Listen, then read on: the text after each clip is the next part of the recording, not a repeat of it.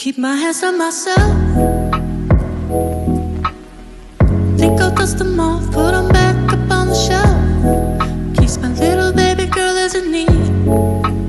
Got another mouth to feed.